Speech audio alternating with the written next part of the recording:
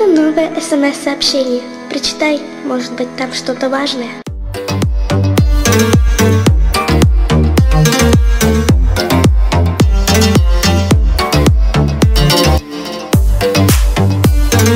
Принято новое смс-сообщение. Прочитай, может быть там что-то важное.